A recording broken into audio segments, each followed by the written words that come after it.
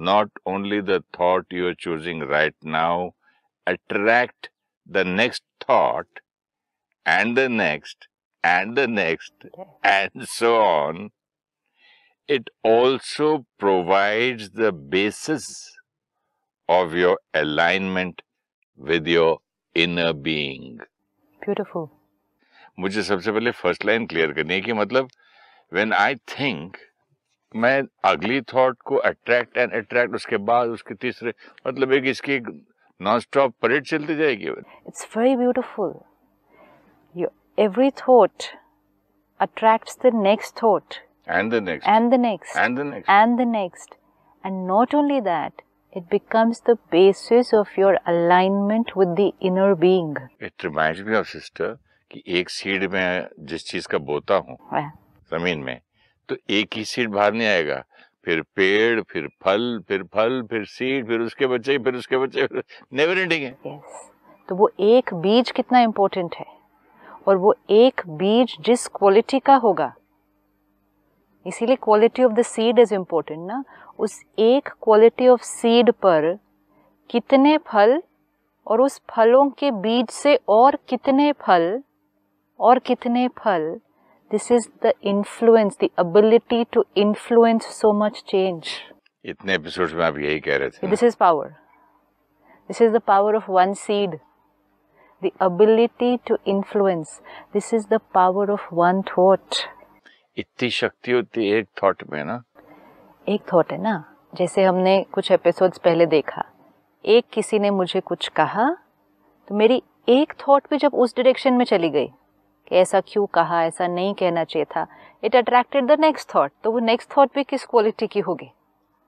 फिर उसकी next thought and उसकी नेक्स्ट थॉट एंड जब मैं इस नेगेटिव थिंकिंग के डायरेक्शन में चली गई my alignment with my inner being of peace disconnect मेरे साथ हुआ ना उस दिन लड्डू के उसमें। लड्डू के उसमें सीरियसली हुआ? छोटी सी चीज़ थी क्योंकि मुझे बचपन से जैसे आप कहते हैं ना एक चीज़ की एक संस्कार। hmm. मेरा संस्कार है कि कोई मुझे खाते हुए टोके ना तो मैं खाना छोड़ देता था। फिर मैं खाऊं नहीं खाऊं कितना खाऊं क्या हाउ कैन स्टॉप मी? हाँ लेकिन आज हम तो ये प्रोग्रामिंग को चेंज करेंगे। नहीं गए थे ना। आज चेंज करेंगे ना। आज चेंज करेंगे। नहीं हो रहा है ना? नो नो ये नहीं वर्ड कभी भी यूज़ करना है कि नहीं हो रहा है। This word itself is disempowering नहीं हो रहा नहीं हो सकता बहुत मुश्किल है सब तो ऐसे ही हैं। ये one thought will attract the next लेकिन मैंने एक आज अच्छा काम किया। हम्म। वो जो जो लड्डू वाली को डांटा था ना बहन को उसको बहुत प्यार किया बाद में। हाँ। बाकी बाकी उसकी चीज़ों की तारीफ़ की उसको सब बोला। मैंने उसको ये भी बोला कि आपके कंसर्न में आप बोले थे। वो सब मैंने ठीक ठाक उसको तो कर दिया। हाँ। लेकिन थोड़ा सा अंदर ना ऑनेस्टली मेरे अंदर अभी भी वो है। अभी भी है ना? इट्स फाइन अब मुझे वो प्रोग्रामिंग को चेंज करना है एंड ये प्रिपेयर करना है क्योंकि ये जब हम see every thought attracts the next thought and the next why this line is so important हुआ ना मेरे साथ। नहीं जैसे अभी भी आपने कहा बचपन से मेरे अंदर ये हम्म। संस्कार है कि कोई अगर मेरे खाने के लिए मुझे टोकेगा हम्म। तो फिर मुझे इरिटेट होना या रोकेगा नहीं मैं खाना खाता हूँ ना। अगर मेरी प्लेट में कोई सब्ज़ी डाल दे रोटी डाल दे ज़बरदस्ती के कुछ बोलो खा ले तो भाई आप कौन? टोकने वाले भी नहीं सिर्फ़ अब डालने वाले भी कौन? लेकिन आप ये देखें कि हमने अपने जीवन के कितने साल लाइफ टाइम इस कंडीशनिंग से बिता दिए और पूरी जीवन बिता देंगे कि उस टाइम पे फिर मैं डिस्टर्ब होऊँगा। While eating food is it the time to get disturb अब उसी चीज़ को कैसे फेस करना है? आपने जो एक शब्द कहा था रॉयल्टी से सिचुएशन लेकिन जब हम ये थॉट करेंगे कि मेरा ये संस्कार है बचपन से तो हम अपने आप को लिबर्टी दे देते हैं हम अपने आप को परमिशन दे देते हैं कि ये है था और रहेगा। And that's why it says one thought will attract the next and the next and every time जब इस kind of thinking की हम अपनी इनर being से अलाइनमेंट हिल गए बट ये जो आपने लाइन कही ये था है और रहेगा अगर ये तीन शब्दों को हम अपनी ओरिजिनलिटी में रख लें याद कर लें। हाँ। जो सोल इसमें इस लाइन में कहा inner कि आपका कोई इनर बीइंग को कोई कोई ले जा नहीं सकता आपके था है और रहेगा। ब्यूटीफुल तो यहाँ से कन्वर्ट कर लेना। वो जो इनर बीइंग का ओरिजिनल संस्कार था ना वो तो ओरिजिनल था है और रहेगा। लेकिन ऊपर ऊपर लेयर्स कौन से बने? अक्वायर्ड संस्कार के। अब इनर बीइंग का संस्कार है पीसफुल एंड पावरफुल ठीक है? अक्वायर्ड लेयर ऑफ़ संस्कार इस पर्टिकुलर सिचुएशन में क्या बना? कि कोई खाना डालेगा मुझे वेस्ट नहीं करना। वो एक सिचुएशन थी। फिर कोई डालने लगा तो मैंने रोका। लेकिन उस समय मेरा रोकने का तरीका कैसा था? एजिटेटेड हंड्रेड परसेंट डिस्टर्ब्ड जी। धीरे धीरे वो ग्रूव बन गया। हम्म। वो एनर्जी पैटर्न बन गया। एंड अब इतने साल बीत गए और इतनी बार इतने लोगों के साथ खाना खाया और हर बार क्या कर दिया? यही कर दिया। यही कर दिया। अब कॉन्शियसली भी नहीं करना पड़ता है। अब वो करने का तरीका बन गया। तो वो ग्रूव फिक्स हो गया ना अंदर। वो पैटर्न पे ही जा रही है बार बार अब अलग because this is damaging for me I am losing my inner power तो सिर्फ़ सिस्टर ये खाने के लिए नहीं नहीं तो फिर हर एक आदत पड़ जाएगी तो दूसरी चीज़ों में भी भाई मुझे पसंद है ये नहीं पसंद बोलने का फिर वो ढंग तो वही रह जाएगा पैटर्न वही बन जाएगा। कौन सा पैटर्न ग्रुप जो आपने कहा था कि अ, चिढ़ के बोलना एजिटेटेड जो आपने शब्द यूज़ किया। बिकॉज़ पावर कम होती जाएगी ना एक सिचुएशन में पावर कम की। आदत भी पड़ जाएगी ना। वो पावर कम होने के बाद आदतें भी कैसी बनेंगी फिर? यू मीन टू से जिसकी चीज़ की आदत रहती है तो यू आर वीक वीकनेस है वो? एवरी टाइम कोई परिस्थिति में I get disconnected from my original being तो ओरिजिनल बीइंग में मैं कनेक्टेड था अभी कब? ओरिजिनली कनेक्टेड थे ना? मैं अब इस जन्म में तो था ही नहीं कभी फिर इसका नहीं मतलब अभी मतलब भी तो होते हैं हम कितनी बार? अच्छा। सिर्फ़ फ़र्क ये है कि अभी हम कम होते हैं ना तो हमें कई बार अवेयर नहीं होता उस चीज़ का। How many times you will feel very deep inner peace very very deep कितनी बार ऐसा होगा कि कोई आपके सामने बड़ी से बड़ी गलती कर दे और आप कहेंगे इट्स ओके बात एक्चुअली मुझे बड़ी से बड़ी गलती पे कभी गुस्सा आया भी नहीं। गाड़ी ठुक गई घर के बड़े बड़े आईने का मतलब डोर ऑफ़ टूट गए। वहाँ मैं बोल ठीक है अब क्या कर सकते हैं? हम्म। मतलब जहाँ ज़्यादा पैसों का भी नुकसान हो ज़्यादा बड़ा ये छोटी छोटी चीज़ की मुझे गंदी सी ये अब मैं अपने आप को ये बताऊँ। अब रियलाइज़ कर रहा हूँ बात करते बड़ी करते बड़ी चीज़ों को मैंने एक्सेप्ट किया। छोटी नहीं कर सकता। छोटी छोटी चीज़ों में मैंने पैटर्न अलग बना लिया। लेकिन जो बड़ी चीज़ें एक्सेप्ट कर सकता है वो छोटी चीज़ें कितनी इजीली एक्सेप्ट कर सकते होंगे? पता नहीं ये तो ये तो कर सकते होंगे लेकिन मैं इट्स तो like saying it's like saying मैं पहाड़ उठा लेता हूँ हम्म। लेकिन पत्थर उठाने में मेरे हाथ को दर्द होता है। इट्स ओनली अ कंडीशनिंग कि पत्थर उठाते टाइम ना मुझे लगता है मेरा हाथ दर्द हो रहा है। कुछ भी नहीं है। सी हाउ इट इज़ कि बड़ी बड़ी बातें और ये हम सबके जीवन के साथ है। हर एक के जीवन में चैलेंजेस आते हैं। कोई बड़े बड़ी चैलेंजेस में जैसे फादर की डेथ हो गई See, वो टाइम पे वो टाइम पे मैं एकदम शक्ति में आ गया कि, कि रोया हुआ नहीं ठीक है ये करना ये करना ये करना ऐसा हो गया अभी हो गया घर एक्सीडेंट हो गया इमीडिएटली अलर्ट हो गया मैं गाड़ी बुलाओ एंबुलेंस बुलाओ ये वहाँ छोटी सी चीज़ पे कोई रोना है तो मैं वहाँ मतलब majority of us go through this कोई बिज़नेस की बड़ी चीज़ में फेस कर लेते हैं कोई एक बहुत टर्मिनल इलनेस को क्रॉस कर लेते हैं हम्म, क्रॉनिक बीमारी कोई किसी नजदीकी संबंध की मृत्यु को फेस कर लेते हैं और छोटी छोटी चीज़ में? चिड़चिड़ हो जाती है। तो अपने आप को याद दिलाना मुझे आत्मा के पास कितनी शक्ति है कि मैंने बड़ी बड़ी परिस्थितियाँ कर ली लेकिन छोटी छोटी जो रोज और दिन में कई बार आती है। अब बड़ी परिस्थिति में पावर डिप्लीट नहीं हुई। लेकिन छोटी छोटी परिस्थितियों में पावर डिप्लीट हो रही है। जीवन में बड़ी बड़ी परिस्थितियाँ बहुत कम आती हैं। हम्म, आप अगर अपने जीवन काल को देखें तो बड़ी परिस्थितियाँ कितनी? सालों में कभी आती सालों में एक और छोटी दिन में दिन कई। मिनटों में आती रहती है। हर घड़ी छोटी बड़ी तो चलती रहती है। छोटी मोटी में अगर ये कंडीशनिंग बन गई तो फिर पावर वेस्ट होती जाएगी। This is but we have to understand this is soul power ये है बीइंग शक्ति। आंतरिक शक्ति ये है कि मुझ आत्मा के पास शक्ति है कि मैं कोई भी परिस्थिति कोई भी चैलेंज कोई भी क्राइसिस को क्रॉस कर कोई भी कैसी भी कभी भी। तो फिर छोटी छोटी क्रॉस करना। तो आज से मैंने वो कंडीशनिंग को चेंज करना है कि जो पहाड़ उठा सकता है वो पत्थर को तो एक उंगली पे हिला देगा। और पुराने वाला जो ग्रूव है उसको अब हम धीरे धीरे धीरे क्या कर देना है? फिनिश हो जाएगा वो पुराना ग्रूव क्योंकि अब नए ग्रूव पे थॉट पावर चलनी शुरू हो जाएगी। एक नया way of thinking and this line is very beautiful my every thought will attract thought after thought and वो मेरी इनर बींग से या तो मुझे अलाइन कर देगा, या फिर वो अलाइनमेंट शिफ्ट हो जाएगी।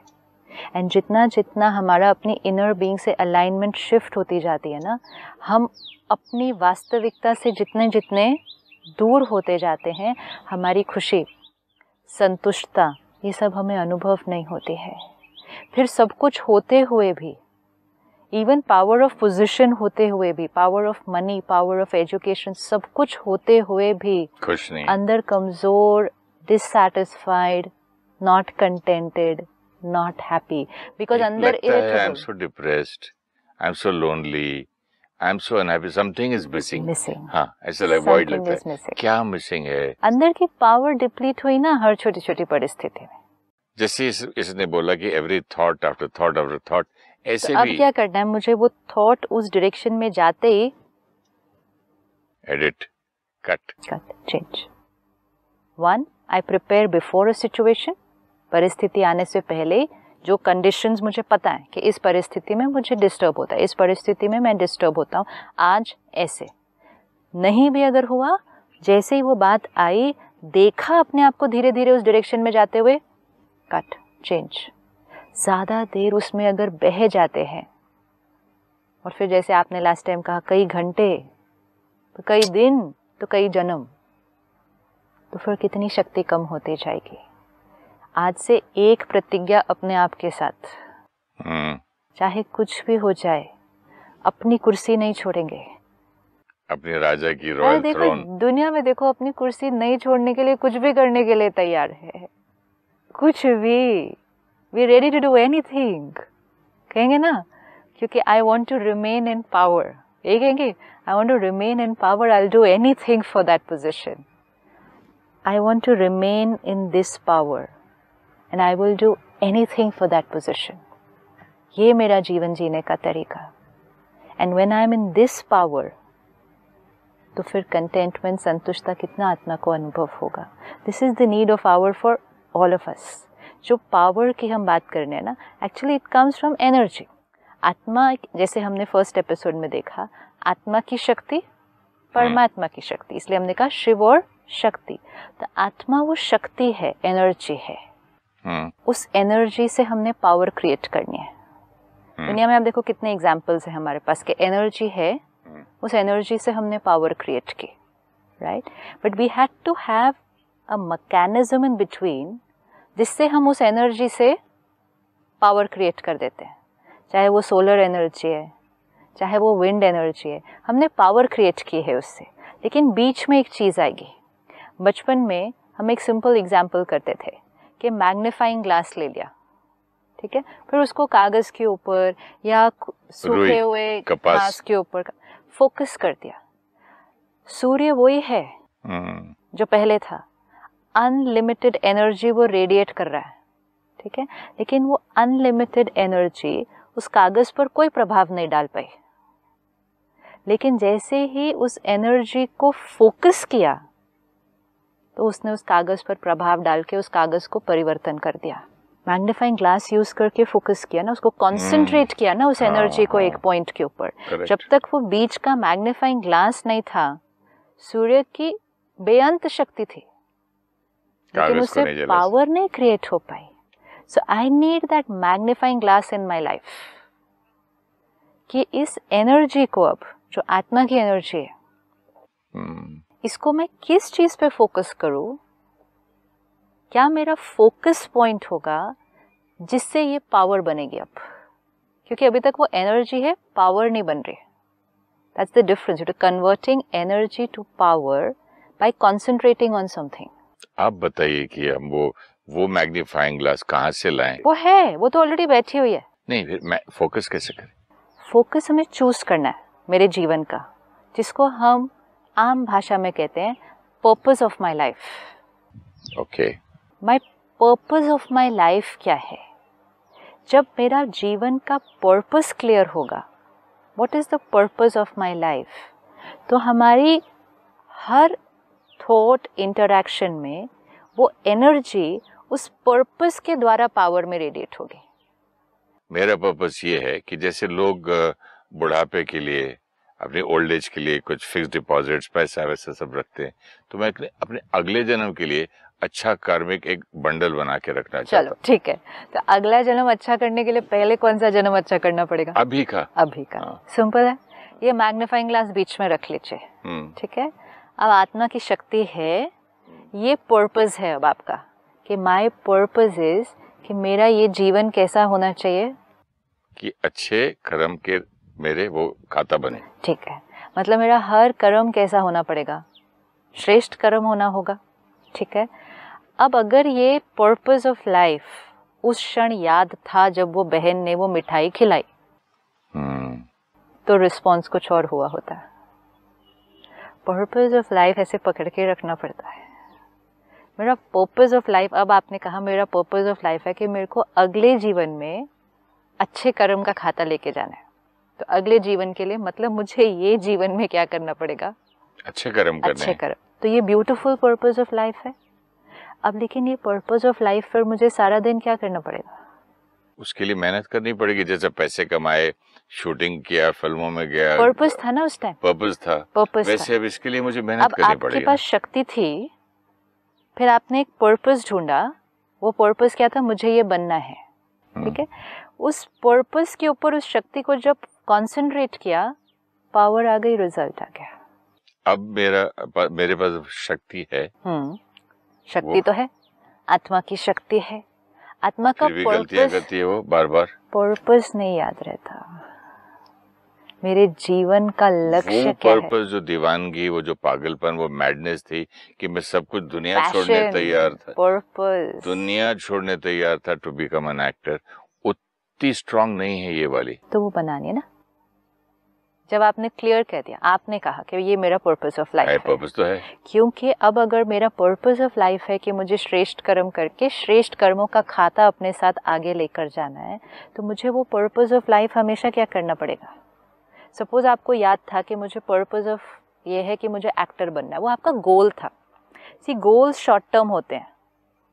Purpose of life is continuous मेरी ये लाइफ का भी नहीं है मेरे तो पर्पस अगले जन्म का बिकॉज़ भी it's a purpose of purpose of the soul ना। लॉन्गर हाँ। या पर्पस ऑफ़ द बीइंग तो उस लाइफ टाइम में छोटे छोटे गोल्स आएँगे। अब मुझे ये करना है मुझे ये करना है ये। पर्पस ऑफ़ लाइफ कंटिन्यूस है।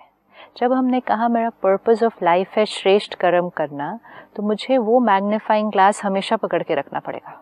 हम्म, फिर चाहे कोई भी बात आए चाहे कोई कुछ भी कहे माई पर्पज़ ऑफ़ लाइफ तो ऐसा नहीं होना चाहिए कि कोई भी आया कुछ भी कहा और मेरे पर्पज ऑफ़ लाइफ को हिला के चला गया। फिर पर्पस ऑफ़ लाइफ क्या हुआ? छोटे थे हम तो वो ब्लॉक्स के ऊपर कोई घर बनाते थे तब भी किसी को नज़दीक नहीं आने देते थे। पैर लग जाएगा मेरा घर गिर जाएगा। हम्म, मैं घर बना रहा हूँ ऊँचा ऊँचा। वो इतना उसको संभाल के संभाल रखते के रखते और यहाँ यहाँ तो कोई भी आता है मुझे गिरा देता है मेरी पर्पज ऑफ़ लाइफ से। So purpose of life is very important या तो पर्पस ऑफ़ लाइफ मेरी वीक है हाँ।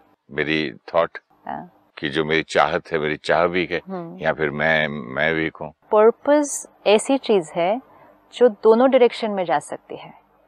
कोई अपनी एनर्जी को यूज़ आज दुनिया में भी हम हिस्ट्री को अगर देखें कोई ऐसी आत्माएँ हैं जिन्होंने अपनी आंतरिक शक्ति को मिरेकल्स क्रिएट करने के लिए यूज़ कर दिया। कि इन्होंने अपनी आंतरिक शक्ति को ह्यूमैनिटी के बेनिफिट के लिए यूज़ किया। और कईयों ने अपनी आंतरिक शक्ति को दुनिया के बहुत सारे नुकसान और विनाश के लिए यूज़ किया। हम्म, वो भी शक्ति थी। हाँ। वो भी शक्ति है। That soul was also very powerful a weak soul can not create that kind of an impact an influence लेकिन the soul use its power atomic energy को हाँ। कोई कैंसर ठीक करने के लिए यूज़ करता है या इलेक्ट्रिसिटी वगैरह या सैटेलाइट के लिए हाँ। और वही एटॉमिक एनर्जी को कोई बॉम्ब बना के। क्योंकि एनर्जी वही है लेकिन किसी ने पर्पस यूज़ किया हीलिंग का और किसी ने उसका पर्पस यूज़ किया वॉर का। तो एनर्जी तो वही थी पावर भी उसने दी लेकिन पर्पस कौन सी डायरेक्शन में था? ये बहुत इम्पोर्टेंट है। So we have to have that compass हमारे साथ हमेशा कि purpose of my life and guided by values of my life suppose एक कंपनी है, दो लोग चलाते हैं। दोनों का पर्पस सपोज़ ये है कि हमें इस कंपनी को बहुत ऊंचाइयों तक लेके जाना है, हमने बहुत अच्छा बिज़नेस करना है, हमें ये कारोबार ऐसे ऐसे फैलाना है। लेकिन एक का वैल्यू सिस्टम कहता है इंटेग्रिटी ऑनेस्टी ट्रांसपेरेंसी दूसरे का वैल्यू सिस्टम दूसरे का जो वैल्यू सिस्टम है वो शायद ये सोचता होगा कि भाई इसकी पर, इसकी वैल्यू सिस्टम पे तो कब बनेंगे कब हमारी फैक्ट्री फ्लरिश करेगी कब हमको तरक्की मिलेगी। हम शॉर्टकट ढूंढते हैं ना। तो इसीलिए ये दोनों चीज़ें बहुत ध्यान से अटेंशन से यूज़ करनी है। मेरा पर्पस क्या है और मेरे वैल्यू सिस्टम्स क्या है? और ये पर्पस और वैल्यू सिस्टम को बीच में रखते हुए एनर्जी को पावर के रूप में ट्रांसलेट करना है। ज़्यादातर हम में से मेजोरिटी पर्पज़ ऑफ़ लाइफ अपने अगेन बाह्य चीज़ों पर बना लेते हैं। जैसे सपोज़ एक्टर हैं आप। हम्म। तो एक्टर कहेगा मेरा पर्पज़ ऑफ़ लाइफ ये है लोगों को एंटरटेन करना। हम्म। एक मदर है वो कहेगी मेरा पर्पज़ ऑफ़ लाइफ है मेरे बच्चों की संभाल करना। तो हम ज़्यादातर अपना जो पर्पज़ ऑफ़ लाइफ है ना वो अपने डूइंग में ढूंढते हैं। Okay okay. अपने प्रोफेशन में अपने रिश्तों में समाज की सेवा करने में बाहर ढूंढते हैं डूइंग में। हम्म। डूइंग में जो पर्पस हम ढूंढेंगे वो पर्पस मेरा नहीं है। This is why we are not satisfied with our life see simple again simple एक डॉक्टर है।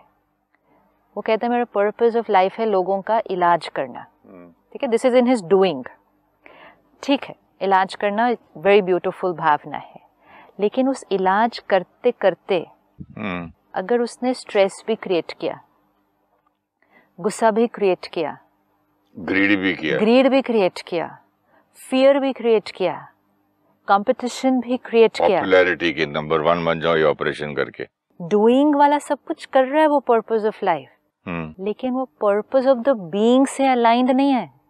तो यही डॉक्टर पर्पस ऑफ़ बीइंग से अलाइंड होता हाँ। तो क्या करता? तो क्या करता आप बताओ? Purpose of the being purpose of the तो मतलब ये सारी बातें जो वो हीलिंग करता सारी। हम्म। लेकिन उसका पर्पज ऑफ़ द बीइंग क्या होता? To heal the person no to heal the person तो डूइंग में है। Love see now we are coming to the purpose of the being doing love compassion उसके दर्द को अपने दर्द समझना। compassion, empathy, love caring happy, stable powerful now healing. Being, doing, बहुत फ़र्क है। आज क्या हुआ? पर्पज़ ऑफ़ द डूइंग हम अचीव कर रहे हैं। लेकिन करते करते मेरा क्योंकि हम कहते हैं मेरे जीवन का लक्ष्य क्या है? Why am I here many people will ask what is the purpose of my life so the purpose of my life is to be in that original state of the being and radiate that quality of being in every interaction फिर उसमें आप doing में कुछ भी जो कर रहे हैं लेकिन इस डूइंग में अगर पर्पज़ ऑफ़ द बीइंग का नहीं ध्यान रखा तो फिर कितने भी साल बीत गए कितना भी डूइंग आपने कर लिया एंड में यही क्वेश्चन आएगा what is the purpose of my life तो आज हमें purpose of the being I the being उसका इस जीवन में क्या पर्पज़ है? बीइंग शक्ति। बीइंग को डूइंग में लेकर आना है सारा दिन। वो डॉक्टर ने जो डूइंग करना था ही should have brought being in in तो बीइंग को डूइंग में लाएँगे ना। ओके okay, पहले वो बन बीइंग सो एंड सो अगर आप एक्टर हैं आप फादर हैं ये सब आपका डूइंग है। आप हस्बैंड है ये आपका डूइंग है। लेकिन पर्पस ऑफ़ द बीइंग क्या है? To be loving caring compassionate in everything that I am doing तब आप सब कुछ करते करते हुए भी आप अपने जीवन के लक्ष्य को जी रहे हैं। और वो करते करते आत्मा की शक्ति क्या होती जाएगी? डे बाय डे बढ़ती जाएगी। अब ये हमारा मैग्नीफाइंग ग्लास हो गया बीच का।